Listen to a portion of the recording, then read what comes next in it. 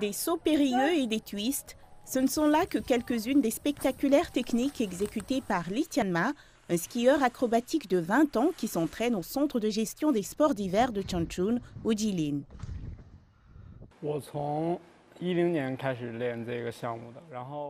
J'ai commencé à apprendre le ski acrobatique à l'âge de 9 ans. Je viens de la province du Jiangsu et je suis venu à Tilin parce que l'entraînement au sport d'hiver est très fort ici.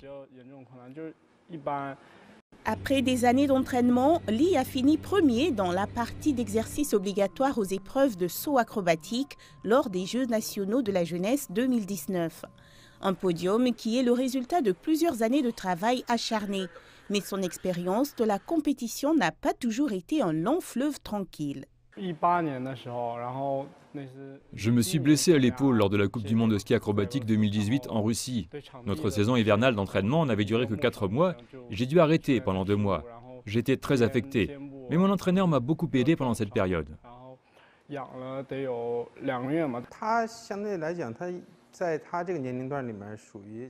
À l'âge qu'il a, son niveau technique est parmi les meilleurs du pays.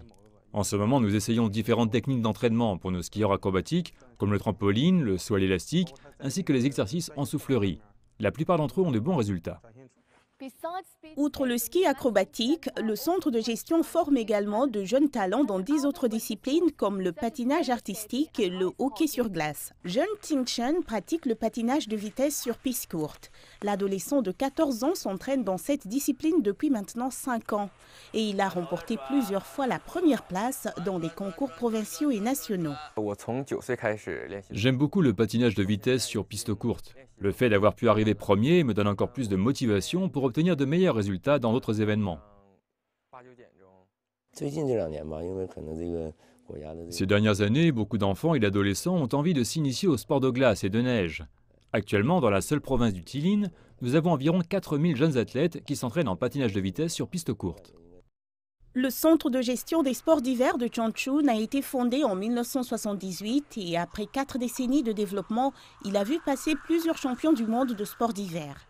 On peut notamment citer Zhao Weishang, le porte-drapeau de la toute première délégation chinoise aux Jeux olympiques d'hiver lors des Jeux de 1980 à Lake Placide. Zhu Yang, championne des Jeux olympiques en patinage sur piste courte 1500 mètres femmes, et Shen Lu, première championne mondiale de la Chine en patinage artistique en simple femme. Notre centre vise à fournir un vivier de talents suffisant pour les sports d'hiver chinois. Ces dernières années, nous n'avons cessé de développer nos capacités de formation en améliorant les sites et les installations, en invitant des entraîneurs étrangers et en coopérant avec les clubs et les écoles. Nous continuerons à jouer notre rôle dans la formation de jeunes talents et l'élargissement du groupe de talents pour les sports d'hiver. Comme d'autres athlètes en herbe, Li Tianma et Zhen Xinchen ont les yeux rivés sur la compétition sportive la plus prestigieuse au monde, les Jeux olympiques.